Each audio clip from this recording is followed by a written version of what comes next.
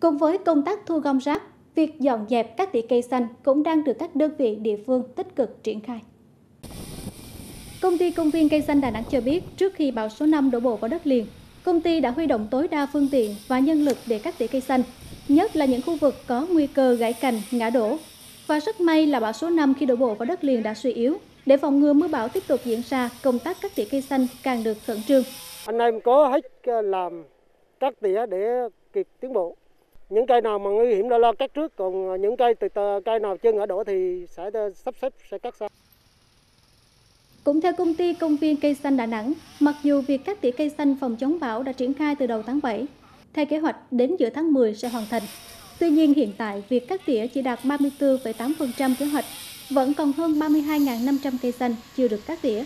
Nguyên nhân là do toàn thành phố phải thực hiện giãn cách xã hội, nên hoạt động cắt tỉa cây xanh cũng buộc phải tạm dừng từ ngày 15 tháng 8 đến nay.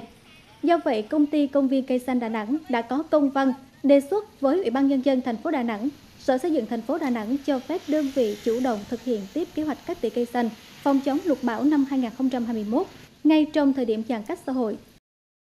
Tiến độ trừ là hết nguồn lực vào các hoàn thành ở tháng 11. Chứ trừ kiểu này là không xong vì quá chậm. Vì thời tiết cây còn rất rất là nhiều vì do thời tiết mất một tháng là là ảnh hưởng tới ờ, công tiến độ của, của thành phố. Cùng với công ty công viên cây xanh Đà Nẵng, tại các tuyến đường từ 7m5 trở xuống đã được phân cấp quản lý về quận huyện.